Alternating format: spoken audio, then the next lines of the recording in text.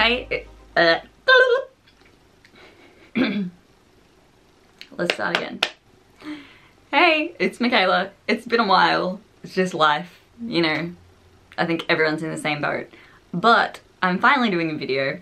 It's one I've wanted to do for a long time and it is all about my sewing patterns. So if you know me, you know that I love sewing, you know that I love DIY, but I'm also obsessed with collecting retro or old school patterns. So today I am going to go through my collection and show you how I, well, tell you how I source them, how I prep them for sewing, how I store them and organize them and so on and so on. So my favorite place to source cool sewing patterns is actually from the op shop or the thrift store. Uh, they're often really, really cheap, like 50 cents to $2, and you can find some super cool retro things like 80s patterns, all sorts of fun stuff. Now with this you might find that some pieces are a little bit worse for wear or you're missing a piece or whatever.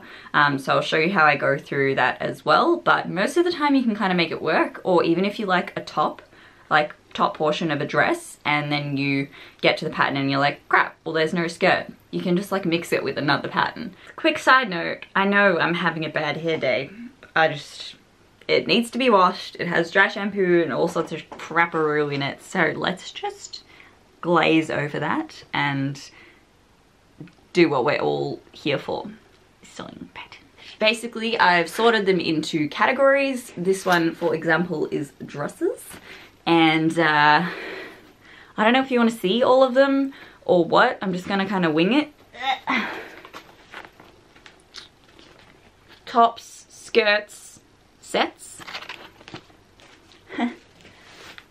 uh, outer, miscellaneous and fancy dresses. And I'm sure if you've sewn before, you know that it is quite a mission to get them back into their little paper envelopes. So sometimes you just have to give up and put them in a folder or a folder or a folder. I keep the paper envelope um, so you can still have all the original info. You can see what it is at a glance with a picture. You got all the sizing information, all the cutting info, uh, how much fabric you need, etc. And then I just fold them up and put them in these pockets. So as you can see, there is a few dresses in here. I might show you more in depth when I'm not sitting on a chair and trying to hold this up, but you get the vibe. This one is not labeled, so I don't actually know what's in here. Cute little, I apologize for the light. Uh, this is miscellaneous bits. So like for example a pocket from a random pattern. Now one day I would like to go through this and figure out what the pattern number is, Google it online um, and figure out what I'm missing but it's honestly really handy to have random pocket patterns so you can kind of put it in with another item. When people know you sew, they give you a lot of miscellaneous things like family, friends or whatever. They're like, oh my gosh, I have all these old patterns or I have a collection of buttons or zips or whatever and it's a blessing and a curse. Uh, but I love it. One thing that I do like to do, which I'll go more in depth later I think, is, for example, this particular one. So I've ticked off the pieces that I have in this set so that I know I'm missing this one. But I think it's a facing, so I can wing that, which is fabulous. But it's always good to double check that. I don't really care. I will buy whatever size. Um, I just sort of want the shape and then I can put it together. Um, so for example, this one, it's size 6 to 16. There. Um, I think it's good to note if you're buying patterns. Um, it may not be your correct size. And also if you're buying a pattern, I mean, you can get, you can see if you're looking in a thrift store and you're like, oh, this is a really cute, like, I feel like this is on trend. I should make this. Uh, have a look inside and see this one still looks like it's factory folded. So I know that all the pieces are still in there. And 100% this is a new pattern. It has not been touched, which we love like hasn't been cut, nothing. So I get to do all of that fun stuff. Um, this is actually, I'm gonna make this. Hello, look how cute this is. So that's a really important thing to note. And also uh, the little booklets that come with your pattern have a lot of info on there if you're not a confident sewer yet. Um, definitely look at these. It shows you That's a noisy cut. It shows you your steps, your pattern pieces, your options, uh, your cutting layouts, all sorts of good info. So definitely hang on to that. Let's start off with top skirts and sets. This Butterick, she's cute. See, this is one that I think could probably go in my folder. Um, it's a little sad. This is the stuff I'm talking about. Like finding patterns like this. Are you kidding me? It is so cool and retro. I love. Less of a vibe, but you could make it work. Like you could make a cute little cami there. There's the one I was showing you before. This is another one that could probably go into my folder. It's held together with a bulldog clip, but it's still good. I mean, are you kidding? It's so cute. Sorry, I just got spooked by the neighbours and then I thought, you know what, who gives a shit if they see me sitting here with my tripod and my mic and my ring light. Oakley dokley. So we're going to continue with this set of patterns here. Um, this is a really cool Vogue. 50 cents! I mean, it's a little grandma but I could totally make it work. You could crop off the bottom, you could change the sleeves. Like, I mean, who doesn't need a pair of pants or a skirt? Like, you've got so many options. Excuse me? Is this not a vibe? Like this or this? I mean, you've got pants, you've got skirt, you've got all the choices. Like, why don't we wear stuff like this anymore? Like, I would wear this out 100%. This cute little top and wide leg pants. A wrap skirt? Who doesn't love a wrap skirt? Now, another really good point is like, you might look at this and be like, oh my god, cute, it's got a top and a skirt and pants. Make sure you look at the back to actually see what the pattern is because sometimes it is not the set, they've just styled it for the front. So this one, for example, we've only got the pants, the capri, and the mini skirt. And yet another mini skirt. Like, I think this is actually from like year nine sewing textiles class or something. And I remember the first time I made this pattern, I cut on the shorten or lengthen line and it was, it was a mini, mini, mini, mini skirt and uh, a bit of a disaster. Is this the same model? No. Again, like, I may not vibe with this sort of hip situation, but you could totally tweak it to make it up higher.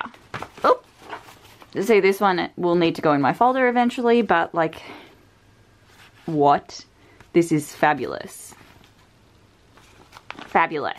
And you've got, you've literally, you've, wait, is that a bodysuit? I have a bodysuit pattern and I didn't even know. This is why we need to go through your pattern collection.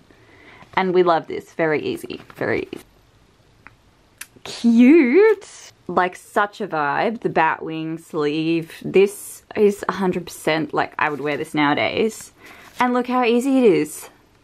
Like, what? I love it, the original pricing. So with all these patterns, they had the original pricing listed on them.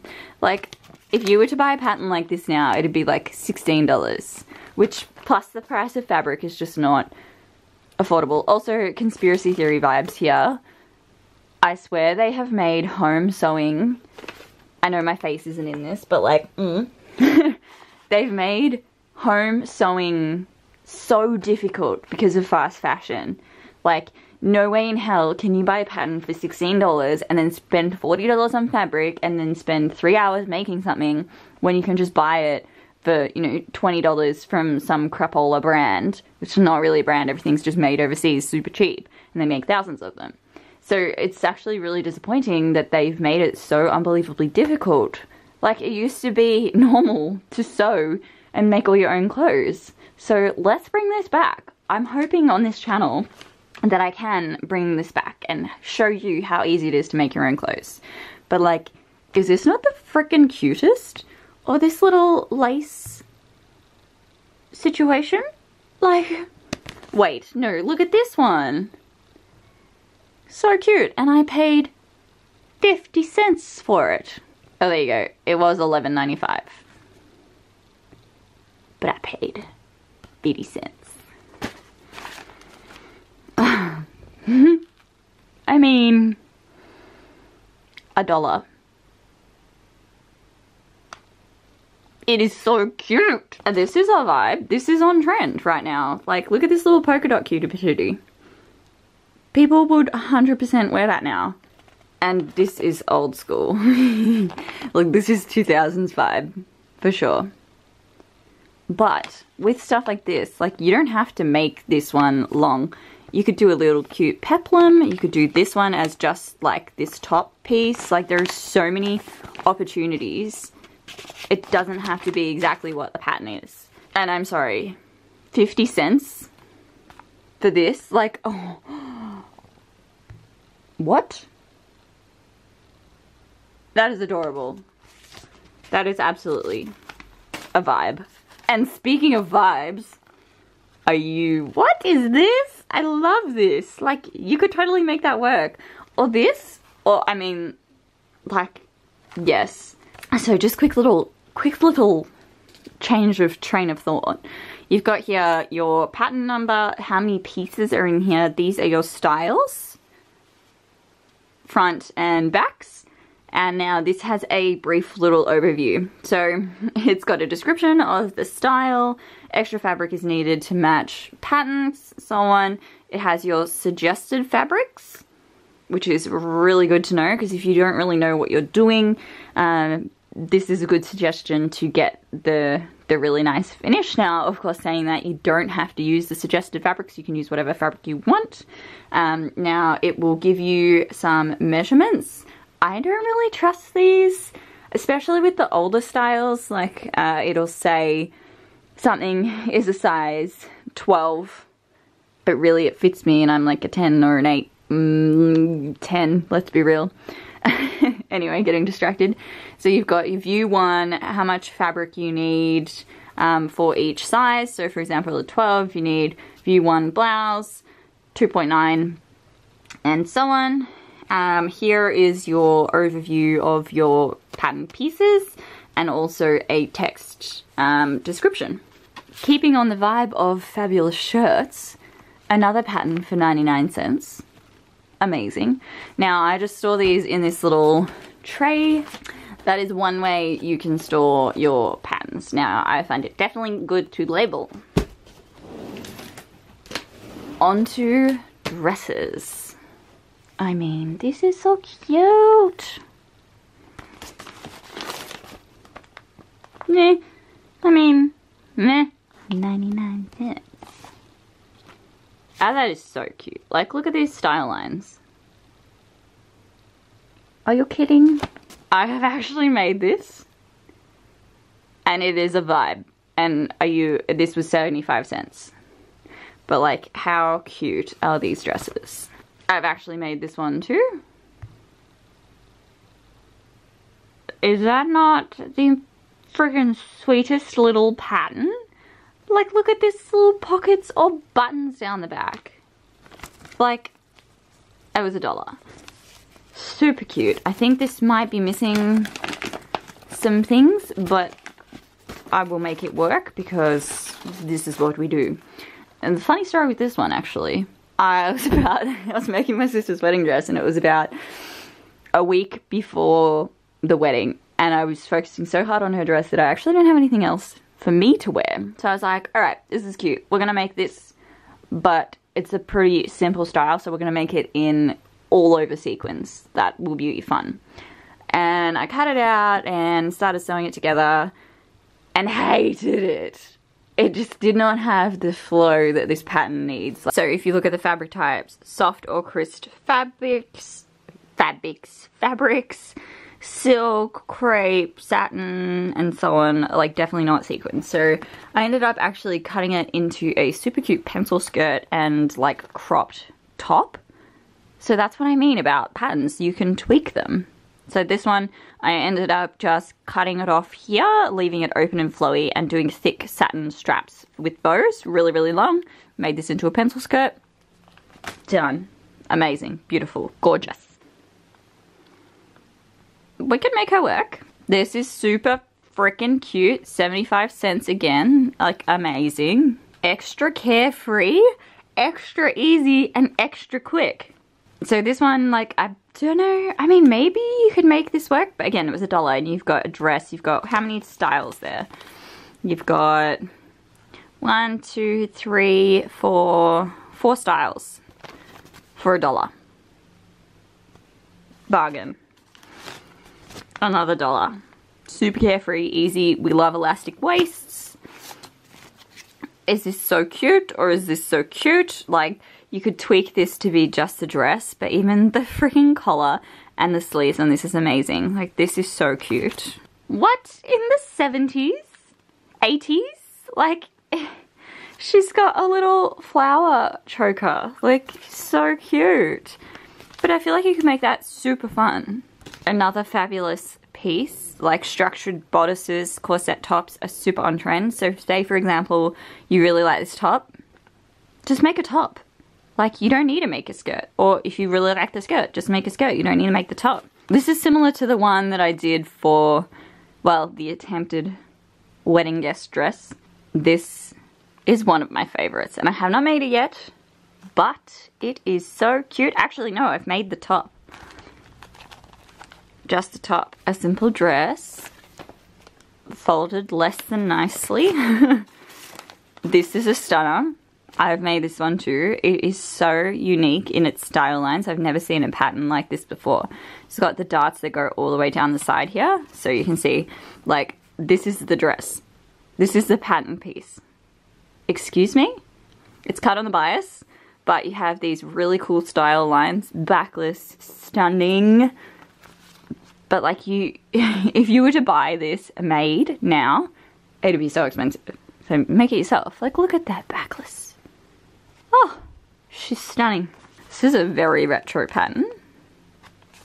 Again, super cute little tops. Like this as a mini. So cute. Love the tie straps. Gorgeous little summer dress. This one is kind of ugly, but I feel like there's potential. And it was 99 cents, so, you know, we gotta give it a go. And this one, again, 99 cents. Make it short, super cute. Change the sleeves. so cute. So cute and on trend, like this contrasting color. This is the other thing I love about patterns is you get so much inspo from the pictures on the front. Like, so cute. And even this you could just do a top. Effortless chic. I mean, look at the sleeves. And the little flounce I don't know what's going on here. This one doesn't even have a, a pattern, so this one should go in my folder, but um, can you imagine this out of recycled denim? Like if you got some old jeans, cut that up. Pants with little ruffles? Excuse me? Oh no, it's dress. I don't know. Is it a dress? Is it pants? Another cute little option. Like everyone loves this underbust stuff at the moment. This does not look good. But like if you did this in a cute fabric, amazing. Back, ruffles, so cute. Again, make a dress, make a top, make a whatever you want. This is definitely a gifted one. um, I may not make this, but we gotta give her a go. Another, like, who doesn't love comfort? Stunning. Stunning. I feel like this should be in my fancy dresses section, so I might just, uh, might relocate that to this one. Mm, this is definitely a gifted to me, but you might be able to make it wear, I don't know, possibly. Same as this, this is so like 90s, 2000s, but tweak it. You can't really see this, but so much potential. Like, are you, this is, imagine this is like a raincoat mm. so 90s. it was a dollar and I wanted this because I wanted to make a like fleecy sort of zipper. Well, I wanted to make this for like the snow, comfy coat. Like a little cinched waist moment. Oh, this one's falling apart. But again, this is a bomber jacket. Like, you could change the length of it. I'm, I keep saying you could change it, but you totally could. Like, is this not the coolest? So effortless chic. Effortless chic? Effortlessly chic. Another gifted. but you know, it's a simple sort of dress jacket blazer. This is amazing. This was 50 cents. Like, what? I would totally rock this. How freaking cute. The little, like, suit with the little booty shorts. Some bathers. I've actually never made bathers. So, this is on my to-do list. And 50 cents. So you go, suggested fabric, swimwear fabric with spandex lycra. Cool. So what is swimwear fabric? A lot of people don't know. Same as this, like how freaking cute. These little ruffle shorts with the bandeau top. Like, look how simple it is too.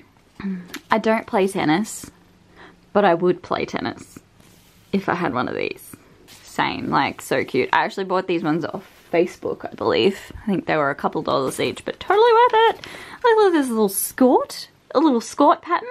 Like, yes, thank you, just for fashion, not even for functionality. Yeah, I bought all of these in a set. Like the little princess line, so cute. It's got bloomers. this is definitely a gifted one. And I haven't gone through and organized this, but it's fine, we keep... I love this neckline. This is what made me buy this one. So mod. Pajamas. Can't go wrong with pajamas. Oh, and this is like, this gives me the vibes of those chiffon um, gowns with the feather trim. Like, people used to wear this. So cool. More lovely lingerie. Like, how cute is this little romper? You got a slip skirt, cami, shorts, another skirt, a dress. Like, so many choices. Is that not the cutest style? And I would wear them out. Maybe not, maybe not this one or this one, but like you could totally wear that out. Same as a skirt. And then there's some uh, less fashionable, fashionable pajamas. A beautiful gown. Like, look at the back detailing on that.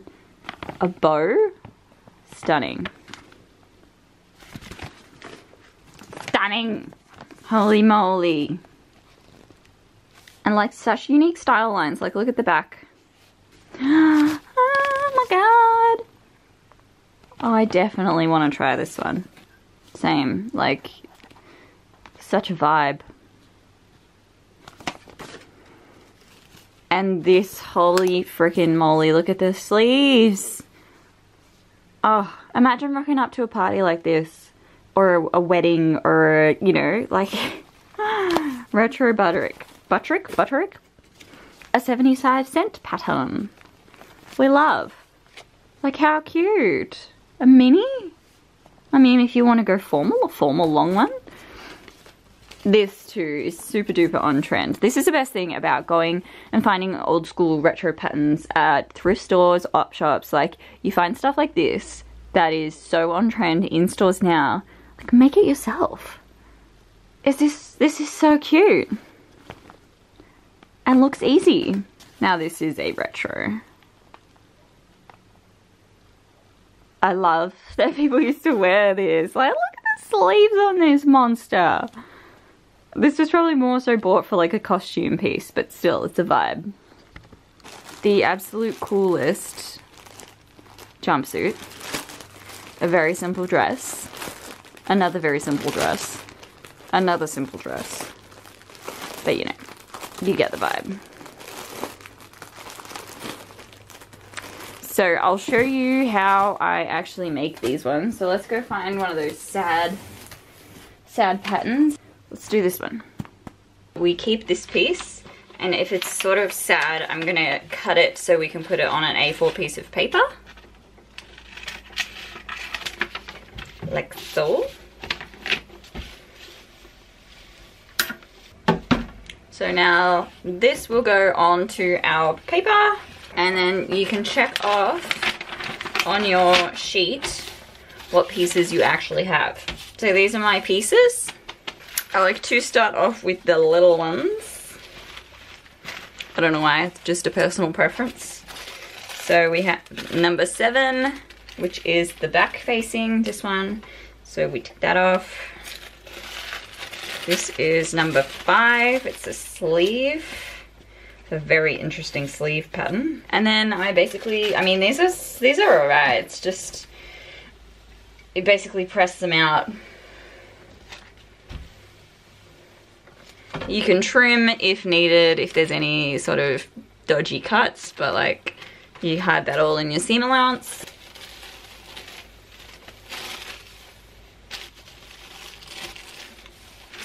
And uh, make sure you fold it so you can actually see what the piece is. That's fairly important.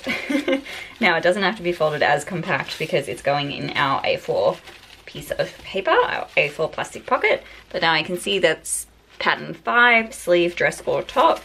Pop number 7 on that too. Eight. So I know this is a complete pattern, which is awesome.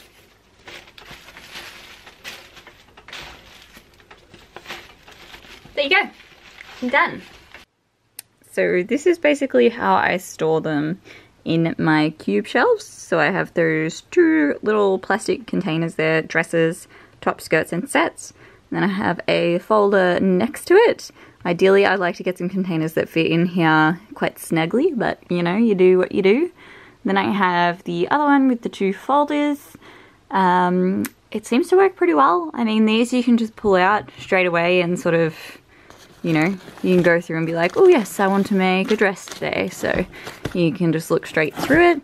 Um, sneaky peek of my lovely fabric. Whoop whoop. Uh, there's so much more. Just this is very, very sidetrack, but I mean, I'll, I'll do that later. I do have a studio tour coming up, but over this side I have some more organized things. Sequins, for example.